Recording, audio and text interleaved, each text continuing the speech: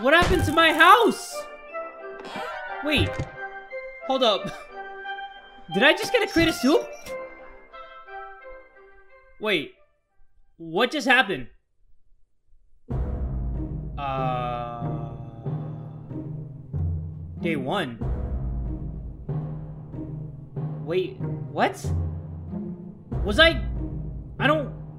I'm confused. I didn't even do the intro yet. I just started it up, and then it ended up like this. Is this from a playthrough I was about to do? Alright guys, I guess we're not gonna scavenge, we're just gonna jump right into it. If you guys cool with that, you down with that? Everybody get ready and buckle up, cause here we go! Okay, before we start this off, guys, I just wanna let you guys know that I've been experimenting, just trying to go on different runs, seeing when I can get different parts. I've tried the regular mode with Dolores, and then I got a part. I tried it on Sarbama in the second episode with Ted, and I got a part. Now I'm playing as Ted, but I'm playing on the easiest difficulty. And not because I'm a little pussy boy, that may be the case, but I want to see if we can get a part if we're going to play on easy mode. So that's why I have a stacked shelter right now, because I'm playing on easy, so don't give me a hard time, guys. We're just trying to get a part here. So let's see what scenario we got. We actually just have some random notes. Okay, so everybody, please, just, you know, put your hands together and just please, just hope that we get a part because I've been playing this off camera and I have gotten no new parts. I don't know why. And you know what? We're gonna try to scavenge.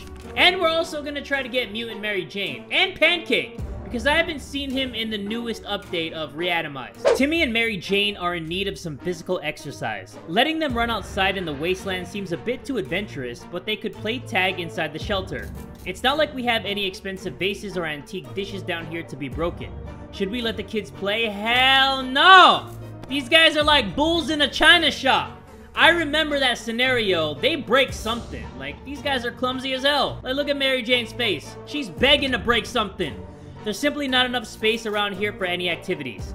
We can barely stretch without putting elbows in each other's eyes. Yeah, we don't want elbows in anybody's eyes. But what we do want we want to send out Ted with that nice comb over, send him out with the gas mask, clasp our hands together, and Teddy boy, I'm begging you on my pink pepperoni nipples, come back with something good. Oh yeah, and if you guys don't remember what the car looks like, see? It has like spikes and it has an ice cream cone on it and it just looks sexy, you know?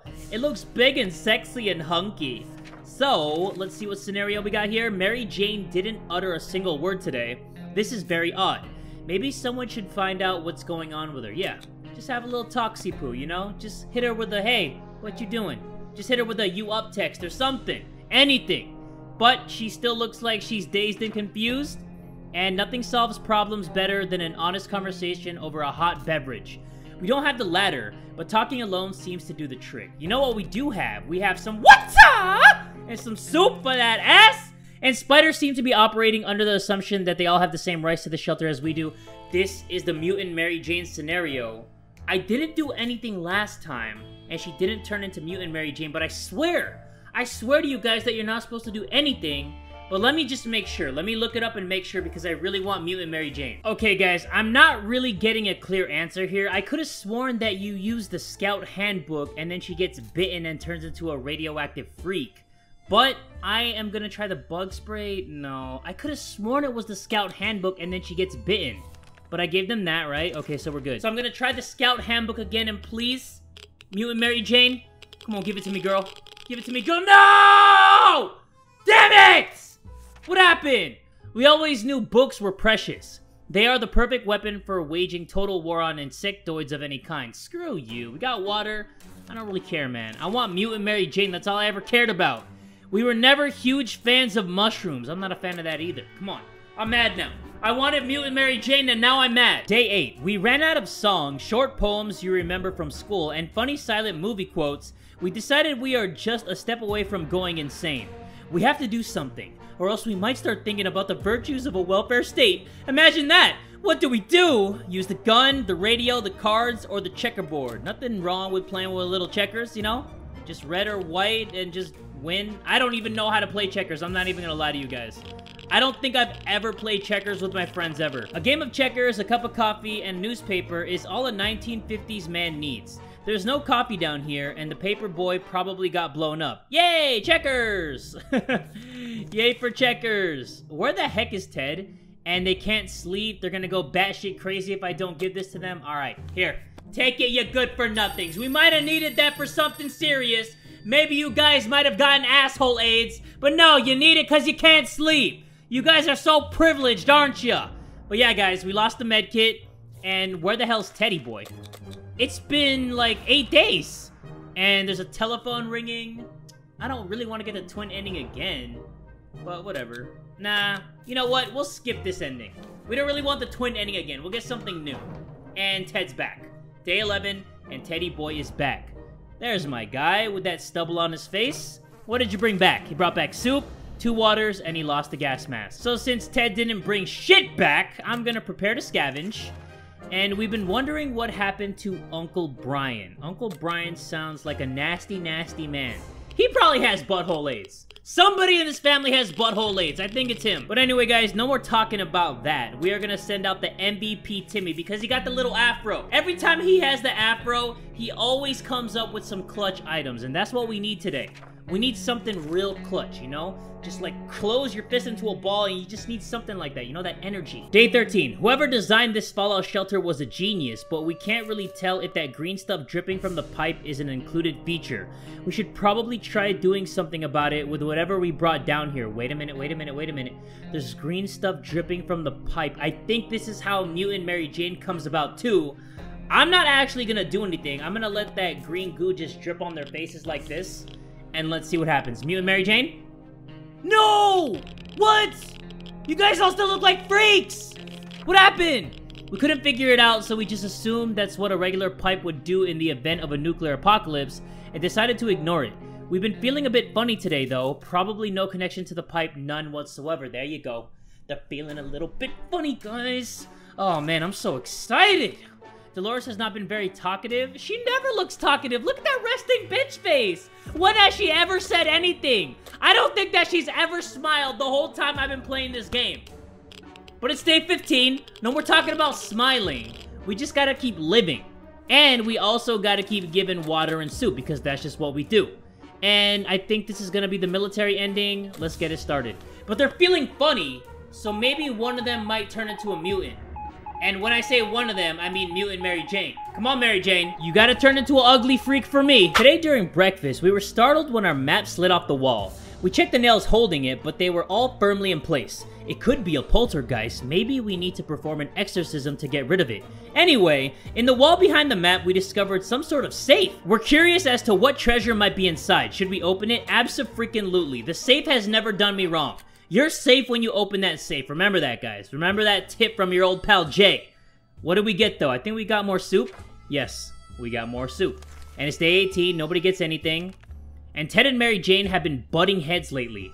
Today, they got into an argument about movie characters. Specifically, who would win in the ultimate battle? Snow White Seven Dwarves or a group of Wasteland Bandits?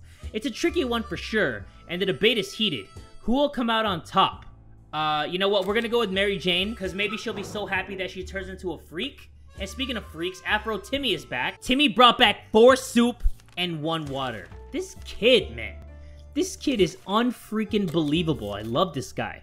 Claustrophobia is difficult to fight against, especially in a little cluttered bunker. Maybe if we could open the door for just a few minutes? Let some air in? Hell no. They're all gonna get sick if I do that. They're all gonna get nasty, nasty sick. Day 24. Today, the music from the radio stopped abruptly, and instead we got to listen to a transmission from the army. We were almost halfway to the door when they started talking about evacuation, but it turns out there is something we need to do first. All survivors were asked to leave a sign that we're alive somewhere in the area. The exact location was given in geographical coordinates. We need a map to establish where that is. Well, looky here. We have a map, so we can find out exactly where to go. And Dolores came back on day 25, What a Time to Be Alive, and she's sick. She looking nasty as hell. What did she bring back? Two soup and her flat ass butt cheeks. Okay, whatever. Whatever! You know, I'm just gonna prepare to scavenge again. And a sleazy looking trader carrying an equally scruffy bag. Okay, so this is the cat scenario. Should I try to get a cat ending? Nah, not right now. I think we're good for now. Because Ted's allergic to cats. I don't want anyone else sick. Day 30. We could use some extra supplies. The last time we went on a supply run, we noticed a damaged tank stuck in the rubble nearby. How about we send someone to investigate? You know what, Timmy? Afro Timmy, you have never done me wrong. So I think that you're gonna come back and give me the good stuff, aren't you? See? He came back, and did he give me the good stuff? He brought back ammo, aka the good stuff. Ammo is also the good stuff. And there's a phone call. Stop freaking calling me! And we finally got a good look at the vehicle down the street. An ice cream truck. Yes! No wheels, but it was reinforced with wooden spikes. But where were the weapons? That kind of vehicle needs a weapon. Let's get out there with some equipment and find something fitting. Okay, we got a map and we have a padlock. I'm gonna choose the map, guys. Hopefully I did it right, because maybe there might be some, like, laser beams if we use the padlock. Let me see what I got. Come on. Give me something good, baby. Just one time for me. Looking at the map gave us an idea. We visited a centuries-old battlefield on the outskirts of town and pushed an antique cannon all the way back to the vehicle we found. Yes! The map somehow got all torn up in the process, but our project looks truly majestic. Okay, oh, oh my god, that is sexy. That makes me as hard as that cannon right now. Yes! Okay, so we have a seat right here and then a cannon on top so we could just sit there and go... Time to die, partner. Boom, boom, boom, boom, boom, boom, boom. Okay, we got spikes, we got a cannon, we got a seat. Now we just need some wheels. So that's pretty much what I wanted to do for today's episode, was at least get one more part for the truck. Now let's try to get the hell out of here, guys. Nobody can actually go scavenge, so boo freaking who. Oh my god. Ted died. Uh-oh. But we still have Dolores. It doesn't even say anything here, guys. It just shows Ted with an X on his face. That's how much he sucks. He doesn't even get kind words. Open in the name of freedom, came a shout from outside our door. We weren't sure who claimed to be representing freedom, but we could hear it was a group of people probably armed. Anyone who introduces themselves like that is probably planning to kill someone in the name of freedom. Should we open? You know what? Actually, wait. We have a shitload of stuff. But we gotta open in the name of freedom. I'm just happy that we got the cannon on top of the ice cream truck. But let's see what happened here. They didn't rob us, I think. I think they gave us a gun. Yeah, they did. They're nice guys. They're swell dudes! They're groovy dudes! The end. Oh no. That means Dolores died. Damn it. Yup, Dolores died.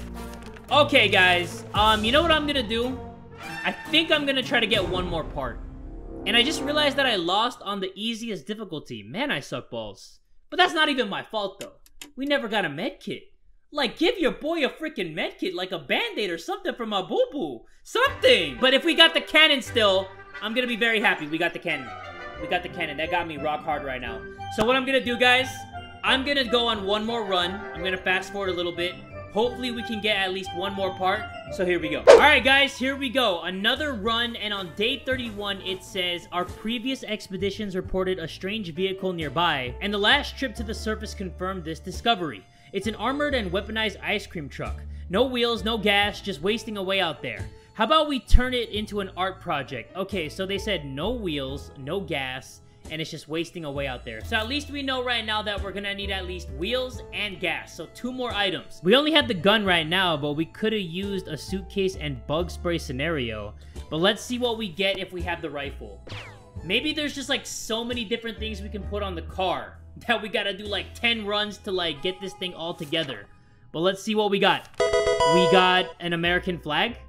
Hold on, let's see what that said. We stormed the local decoration store, shouting battle cries and shooting wildly, at least until the rifle jammed. We found all the American flags and banners we could ever ask for. This vehicle could lead a 4th of July parade or something. If it had wheels, that is. Okay, so we still gotta find wheels. We still gotta find wheels, and we probably have to find gas. So this is what it's come to, sitting idly in the shelter with very few supplies and growing sense of impending doom. If only there was something we could do about it, like breaking into our neighbor's shelter. We know the lock is broken and we saw her restocking the shelter before the bomb fell. Should we go and check it out? She and her children probably didn't even make it in there, right? You know what? Even if they're in there, fuck them kids! We need those supplies right here, right now, so give them to me! I don't care about those kids! I care about me! Four cans of soup! Forget those kids! You guys already know what I do. Alarm! There is a group of people outside and they don't seem too friendly. We recognize some of them, they used to be in our neighborhood watch. They don't sound too concerned with the well-being of the neighborhood anymore, but they are very serious about angrily waving their heavy flashlights. Oh no, not the heavy flashlights. Let's keep the bunker locked. You know, just be like, go away, leave us alone. And then you know, if we bitch and moan like that, they'll eventually go away. You know, that's the strat. That's what we do. So let's give them some of this. Nobody's going outside. And the army started broadcasting again. They want survivors to meet them for a meeting. Okay, Mary Jane, you know what? You're looking wacky as hell. Maybe you'll scare them into rescuing us or something. We managed to make it to the meeting in time. We tried our best to answer the questions the soldiers asked us. Let's hope we fulfilled their expectations and our ragged appearance didn't make a bad impression. I'm pretty sure it did, but you know what? I don't even care right now. All I care about is Ted and Mary Jane have been butting heads lately? No, I don't care about that. You know what, Mary Jane? You're gonna be right. Day 44. Today was an exciting day for Ted. All of a sudden, he found car keys in his back pocket. Has he been sitting on them this whole time? Anyway, it got him reminiscing about his favorite automobile, and now he's worried about it being parked up for too long. Something tells us it's the least of its trouble at the moment, but Ted seems really eager to go out and turn the engine over. Maybe we can take out the engine, put it inside the ice cream truck, or at least do something for the ice cream truck, please. What the hell just happened? Where is everybody? Since Ted doesn't remember where he last parked the car, this could take a while. Oh, okay. So he's gonna look for the car. Where's Mary Jane? Oh, Mary Jane died? I wish I felt bad, but I kind of expected her to leave for some reason. It seems whoever it was, they met their end. After a series of terrifying screams, the radio fell silent. Just before that, a distressed woman recited her full name and address. She used to live in our town. Should we take a hike to her house and find out if she left anything of value? Yes! Hell yes! Capital hell! The devil would love that. Because I love that. Dawkins Residence? Okay, we got the Dawkins Residence achievements. That means we went there and got two cans of soup. Yeah, baby. And a sleazy looking trader. You know what? I'm a sleazy looking trader. It's been a few days since Ted went to look for his car. We're getting really worried now, especially since there have been loud thuds and shouting coming from above. Maybe he got into some trouble. Should we take a peek outside? I'm pretty sure this is going to be a game over because I think Raiders are up there. But let's see. No? Day 48? Okay, so we're still alive. And Ted's back! Yeah, Teddy boy! Ted found something alright, but it wasn't his car. He stumbled upon a barbecue party at our neighbor's burned down lawn. We recognized some faces in the small crowd of partygoers, but they all looked a bit peculiar. Gas masks, goggles, spikes, and a lot of leather everywhere. Was this a costume party? Anyway, we found Ted passed out in a ditch near our shelter, smelling strongly of tomato and alcohol. So, tomato liquor? Sure, whatever floats your boat. But it's only day 48, so nobody's getting anything, and time to listen to some radio chatter. I guess we can only get one car part for the ice cream truck per run. I thought we were gonna get two, but, you know, maybe I was just trying to be spoiled a little bit. Oh, oh my, my god, god, Ted died. Why? Oh, too many days without water. My bad, dude. My bad, Ted. Yikes. And now there's some bandits here. Okay, axe that. Axe that real quick. You know, just get a little choppy choppy, a little slicey slicey. I forgot to give Ted some freaking water. I'm so sorry, dude. The freaking skin off his face just melted off. He's already skeleton. And what we initially thought was thunder turned out to be heavy knocking on the door. That's the military. Okay, hands in the air like I just don't care because we got rescued by the military. Let's go! Good job, Dolores. She's the only remaining survivor, but we got a good ending anyway. Okay, guys, this was a great episode because we got a cannon, we got a bunch of flags on top of our ice cream truck. I'm thinking that we probably need just like two more items, which are the wheels and the gas, but we might need something else. I don't know what we're gonna need, but as you guys can see on the car right there, we got some flags covering the windows, the cannon, the spikes, we don't have wheels, and we don't have gas. So I'm assuming that we at least need two more things. We're going to try to figure that out in the next episode. But if you guys want to see that episode as soon as possible, make sure you guys give this video one big fat like. And tell a friend today that Jay from the Kubz Scouts is that dude!